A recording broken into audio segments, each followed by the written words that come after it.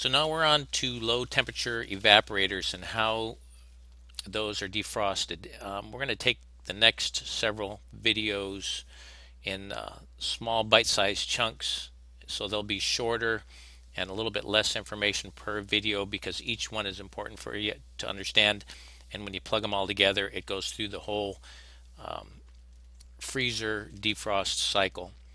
So when you're talking about low temperature evaporators, you know, we're at zero to minus 10 degrees. Uh, you need a heater to help defrost the evaporator. In the coolers, we had 40 degree air. That off cycle defrost uh, time would uh, allow that 40 degree air to defrost the coils, but the box temperature is well below freezing, so you need it needs some help. So because of that, you also need some controls to terminate the defrost so you're not heating up the um, freezer box and then a fan delay so you're not blowing hot air through the freezer box as well. We'll talk about those controls here uh, in a little bit. And then there's also a uh, limit on the heaters, the heater safety, and that prevents the, if something gets stuck, it prevents the heaters from uh, heating up the box. And then we do need a clock like we talked about to control defrost and freeze cycles and it's a little bit more complicated clock than we just looked at timer clock. Let's back up here.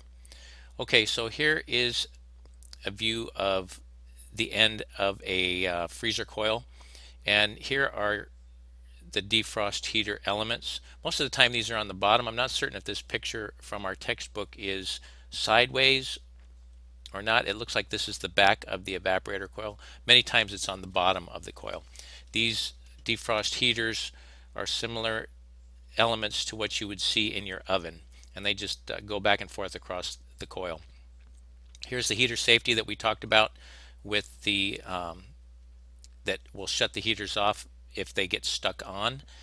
This is the defrost termination and fan delay which uh, terminates defrost and, and delays the fans from coming on and then the wiring terminal board for everything else and of course the fuses are right there. Here's another picture of, of one, the uh, terminal board, defrost termination clipped to uh, a little end piece on the U-bend here. Here's the heater safety. This will also, um, if the if these the evaporator coil tubing gets too warm, it will shut that uh, the electric heaters off. And then here are the wires that go to the heaters right here, and those heaters go back into the coil. All right, so the defrost clock, just a quick view of what we have. This is the front view here, similar to the clock we talked about earlier. It's got um, your trippers here that trip it into defrost and some settings over here that we will talk about here in, in a little bit in another video. On the back side of the unit, there's a slide that opens and closes these contacts and the solenoid that when we terminate defrost that operates that slide as well.